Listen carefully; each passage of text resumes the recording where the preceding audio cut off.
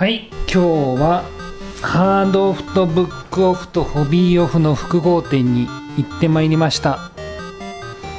でこれがこうちゃんが作ったひな祭りのひな人形らしいです。はい。力作でございます。はい。でまずははい。ママが買ったものからはい。行ってみましょうか。はい。こちらになります。配給のイラストボード。これなんとこれ1200円します。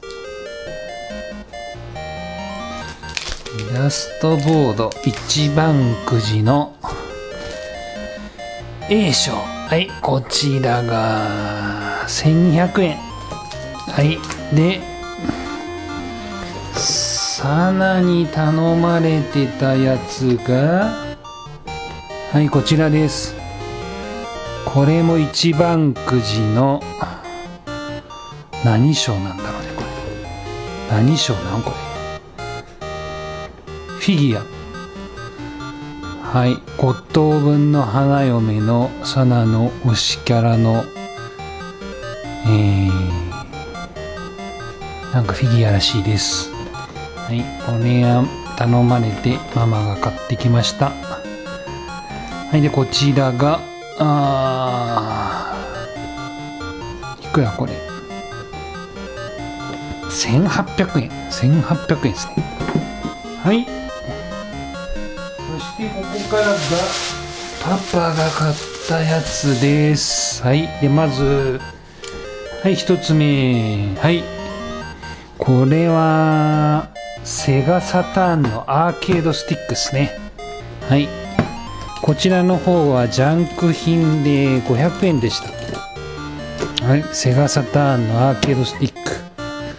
そしてえー、っと続きましてはゲームボーイアドバンスの、はい、レトロゲームですね。えー、1本目はこちらのファインディングにもはいこれが300円。はい、こちらはスルーからだと500円ぐらいですかね。はい、相場500円ぐらいのやつです。で、続きまして、はい、こちら、これもあんま見ないやつなんで買ってみましたが、徹夜。これはどうも麻雀ゲームっぽいです。で、これが500円でした。で、これも駿河屋だと1000円ぐらいですね、多分相場は。してもう一個ゲームバードバンスのゲームではいこちら。えっ、とディズニーのスポーツアメリカンフットボール。はいちょっとどんななんかミッキーがフットボールアメリカンフットボールするゲームでしょうかね。でこちらも500円。これ相場は1500円ぐらいだったかなさっき見た。はい駿河屋1500円ぐらいでしたね。そしてえーとで、最後がこちら。はい。ゲームボーイアドバンススペシャル。SP、SP か。はい、のジャンク品、こちら。が、2つあったんで、2つとも購入してきました。で、これ、1個3000円。まあ、高いのか安いのかは。で、まあ、ちょっと、わかるかな？この辺に。ちょっとシール跡がありますみたいなのが書いてありました。で、えー、っと、まあ、あんまり外の状態は良くないですけど、で、電源も入ります。はい。はい、両方とも一応動きます。電源も入ります。はい。これが1個。3000円。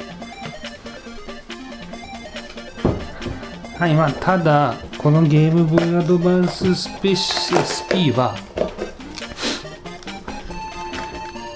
こんな感じで外装とか液晶は交換ができるんでこんなボロボロでもこの外装だけも今買って変えることができるんであんまり問題ないかなと思います。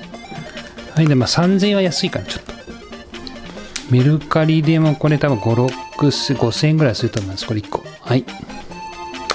で、ゲームボーイアドバンス SP のジャンク品が、はい、2台。